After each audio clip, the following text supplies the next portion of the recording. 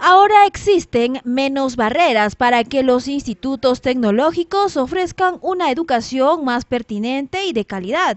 Una de ellas es la formación dual que conduce al grado de bachiller técnico, además del título a nombre de la nación, todo esto gracias a una nueva ley de institutos.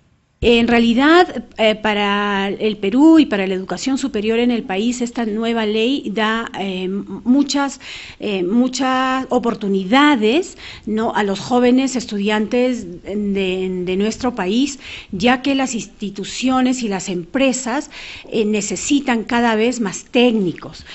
actualmente tenemos un déficit de más de 200 mil técnicos que necesitan las empresas en este momento. Gracias a esta nueva ley se garantiza la calidad de formación tecnológica porque para seguir funcionando cada cinco años los institutos deben cumplir con el proceso de licenciamiento que demostrará que se tienen las condiciones básicas para ofrecer servicios educativos de excelencia el instituto que no licencia, no licencia sus carreras en, en, los cinco años, no va a poder ya este, ofrecer esas carreras y tendría que cerrar.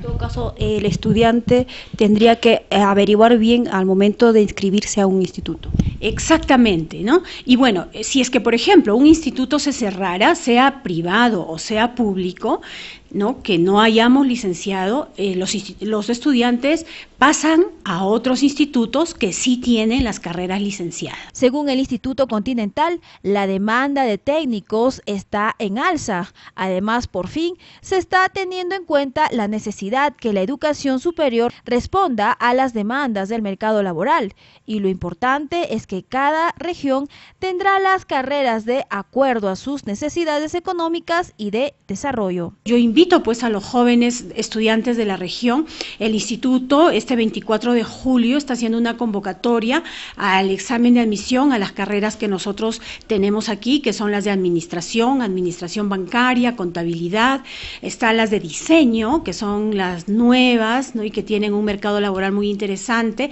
de diseño gráfico, diseño de modas, diseño de interiores, tenemos también la carrera de computación informática, la de contabilidad, gastronomía y arte culinario.